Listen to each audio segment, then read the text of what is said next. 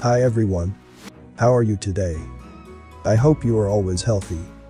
Welcome back to my channel. Like always, today I'm going to discuss some topic that will make you wonder about the advanced technology of the past. I got this on Larry's telegram channel called Tartaria and History channel.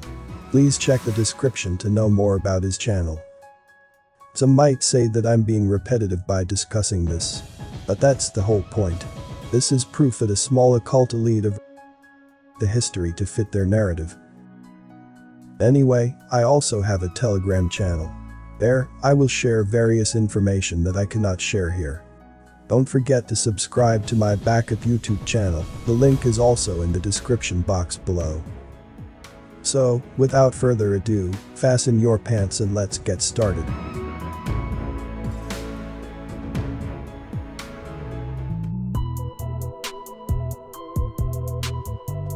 Are we in a loop? In the TV show, Westworld, the story goes that a bunch of very intelligent robots are put into an artificial park to go through the same daily loop of activities in order to create this park experience old as a service to real people. As you can imagine, a lot of cool things, but also some messed up things would occur in that park. However, one day some of these robots wake up is it possible that we are also in a loop that's much longer and more sophisticated? Build up, reset, build up, reset, build up, reset. And the beings that put us in this loop, are they in a bigger loop themselves too that they can't break out of? So how can we break out of these loops? Do we need the assistance of the One?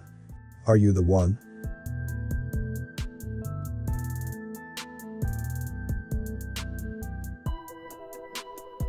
Sergeyevka Park, Russia. A giant granite head sticks out of the ground, situated in the park's forest. It was visited by a young Alexander Pushkin in 1818 and had been there long before him. It's shrouded in mystery as nobody knows who built it and why. Some believe it's actually a full statue going deep underground. There has been no proper excavation done in this whole time. It's as if they are afraid of what they may find which will alter the history books. Before I continue the video, please give a like if you'd learned something. And, don't forget to subscribe, and also, click the notification bell too, so you won't miss any update. And, watch to the end, to avoid misunderstanding. Thank you.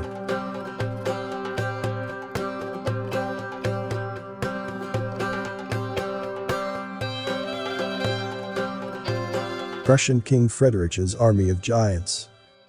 The most beautiful girl or woman in the world would be a matter of indifference to me, King Friedrich Wilhelm I of Prussia once said. But tall soldiers, they are my weakness. So obsessed was he, that Friedrich built a whole regiment of giants during his 1713 to 1740 reign. Certainly, life was good for the giants. Friedrich made sure they never went to war. Instead, he would order them to march through his quarters while he lay in bed. However, rumors that he tried to make them even taller by stretching them on racks hit morale hard and so after a while new recruits were obtained through kidnapping.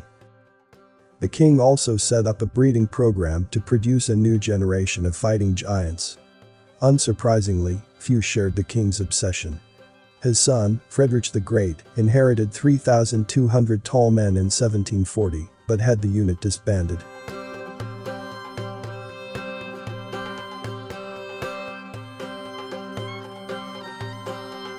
The San Pedro Mummy In July 1934, two miners in the San Pedro Mountains came across something rarer than gold. After blasting their way into a hidden mountain cavern, the miners discovered a diminutive human body, no more than 14 inches at its full height. The mummy had a full set of teeth, and x-rays also revealed what appeared to be the remains of solid food in his stomach.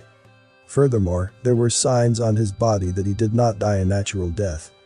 The mummy's spine appeared to be damaged, his collarbone broken, and his skull been smashed by a blow to the head.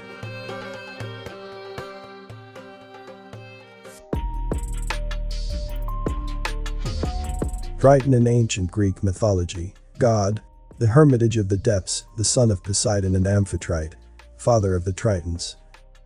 There were two types of Tritons. With a fish or dolphin tail and human hands, as well as with a fish tail and front legs of a horse, Ichthyosaurus tavri. Triton's attributes were a dolphin, a wine horn, a twisted sink. With the help of the latter, it extracts either stormy or delicate sounds, depending on whether it raises a storm or calms a dispersed water element.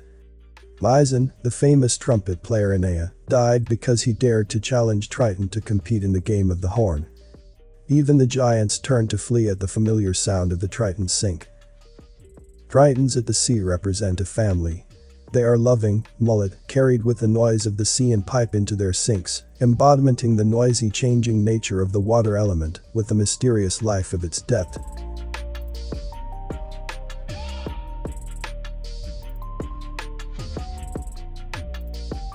Frederick Myers was the first to use the word telepathy in December 1882. Humans are capable of telepathic communication. This ability is in our DNA. However, most cannot achieve full telepathy due to a lack of spiritual practice and consumption of toxic food and drink. The best way to access these abilities is by meditating consistently while consuming healthy foods and pure structured water.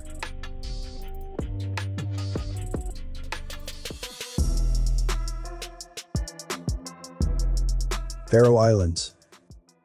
Helgafell and Hafjell pyramids, I mean mountain peaks. Come to your own conclusions.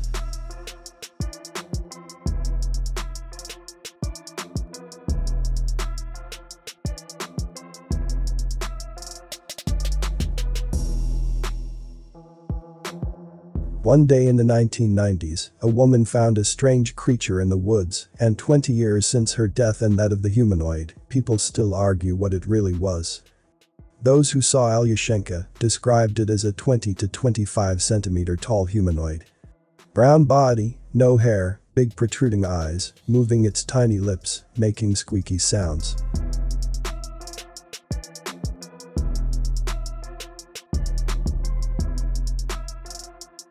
In 2001, Italian archaeologist Mario Polia discovered the report of a missionary named Andres Lopez in the Vatican archives. In the document, which dates from 1600, Lopez describes in great detail a large city rich in gold, silver and jewels, located in the middle of the tropical jungle called Paititi by the natives. Lopez informed the Pope about his discovery, and the Vatican has kept Paititi's location secret for decades.